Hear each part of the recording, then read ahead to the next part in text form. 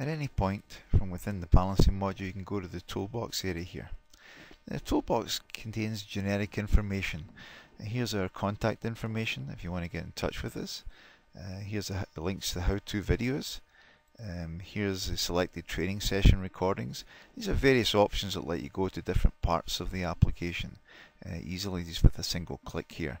And here's the registration information, how to register your license, apply the license and view the current license and so forth. The only other option we've got here is a, a video time study query tool. This is actually an, uh, an option that lets you look at the data inside the file. Uh, it's actually a, a, mini SQL database each file and it's relatively easy to access using these tools if you have knowledge of the uh, uh, SQL structure and how to apply the different commands and so forth.